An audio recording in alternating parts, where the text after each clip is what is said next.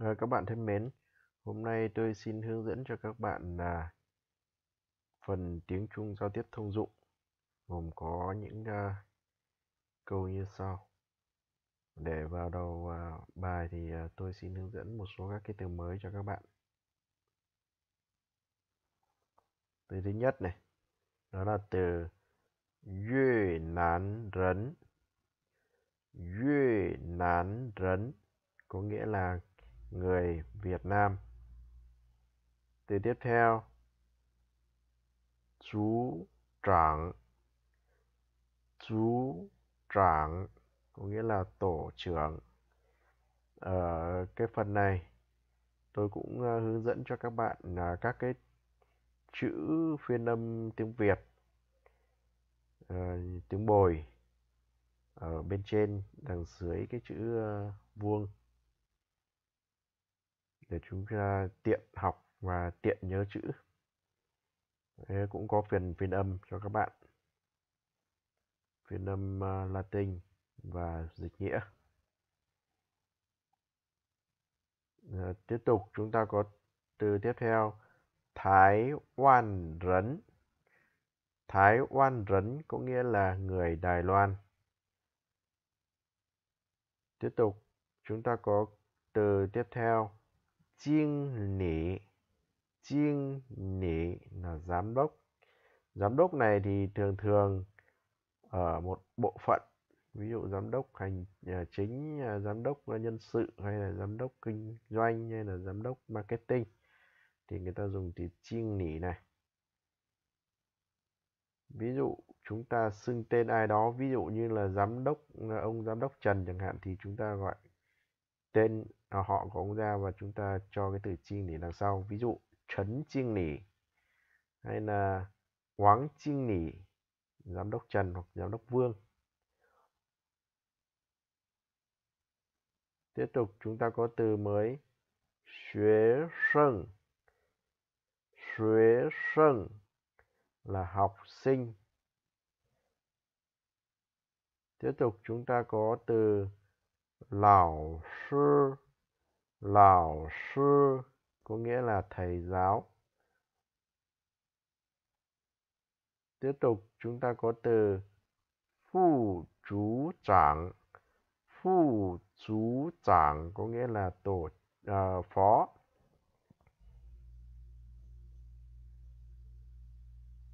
Tiếp tục chúng ta có từ cung rấn là công nhân người công nhân. Chúng ta đọc lại. Cung rấn. Cung rấn. Chúng ta đọc lại cái từ trên, tổ phó là phụ chú trưởng phụ chú trưởng tiếp tục, chúng ta có từ núng mín. Núng mín có nghĩa là lông dân tiếp tục. Chúng ta có từ y sơn y sơn có nghĩa là bác sĩ.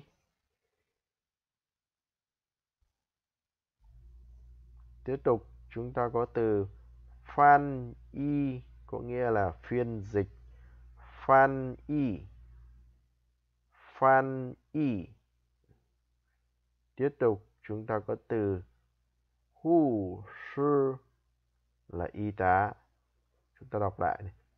Hù sư hù sư hù sư, y tá.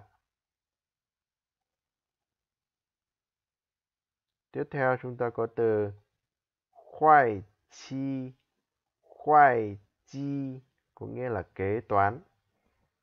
Ví dụ chúng ta có từ khoai chi sư, có nghĩa là nhân viên kế toán từ này như cái chữ này thì người ta, chỗ này người ta đọc là khoai chứ không đọc là huây. Bản thân chữ này của nó cũng là, có nghĩa là từ huây này.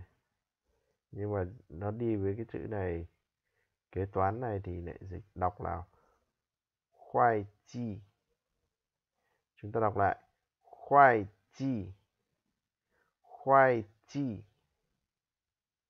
Tiếp tục, chúng ta có từ phó giám đốc là phụ kinh lý phụ lý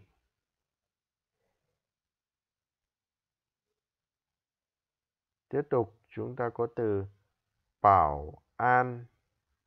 Bảo an là bảo vệ.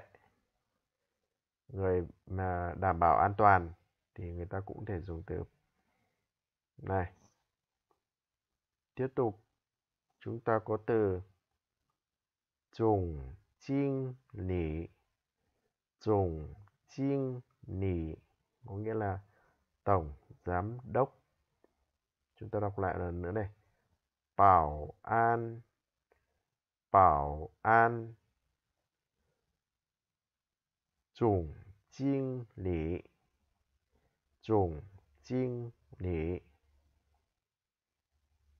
Tiếp tục, chúng ta có từ Wo si cung rấn Wo si cung rấn Là tôi là công nhân. Chúng ta có thể thay cái từ công nhân này vào đây. Ví dụ tôi là bác sĩ là Wo si y sư Tôi là giáo viên là Wo si lão sư tôi là giám đốc là của sư Jing Nị tôi là tổng giám đốc là của sư Dùng Jing Nị tiếp tục, chúng ta có từ, có câu như sau. Của sư xuế sân. Của sư xuế sân. Tôi là học sinh.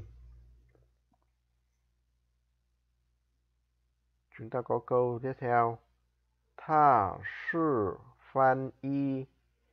Tha sư phan y. Anh ấy là phiên dịch. Tiếp tục, chúng ta có câu.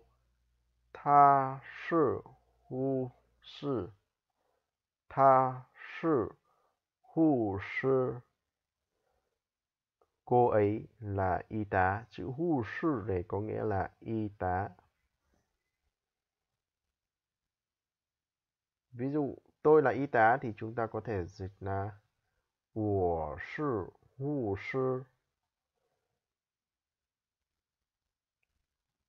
tiếp tục chúng ta có câu 他是不是台湾人 anh ấy có phải là người Đài Loan không?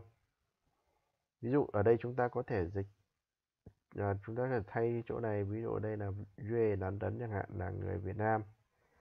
Và chúng ta hỏi chúng ta đọc lại này. Tha sư bú sư Thái Hoàn Rấn. Tha sư bú sư Thái Hoàn Rấn.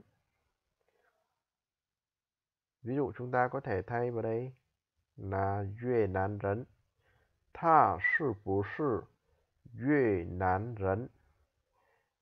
Anh ấy có phải là người Việt Nam không? Và chúng ta cũng có thể thay chủ ngữ vào cái chỗ chữ tha này.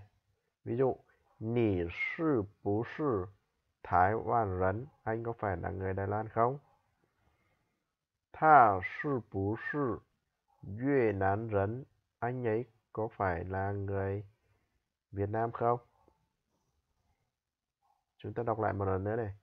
Ta sư bù sư Thái Hoàn rấn. Tiếp tục, chúng ta sang câu tiếp theo. 我不是老师。我不是老师。 tôi không phải là thầy giáo. Ví dụ chúng ta phủ định cái gì đó, không phải là ai đó thì chúng ta có thể thay vào đây. Tôi không phải là giám đốc của bố sư chiêng nỉ tôi không phải là giáo viên của bố sư lão sư tôi không phải là bác sĩ của bố sư y sư hoặc là của bố sư y sinh các bạn thân mến, bài học của chúng ta hôm nay đến đây là hết. Xin ờ, thân ái chào tạm biệt các bạn.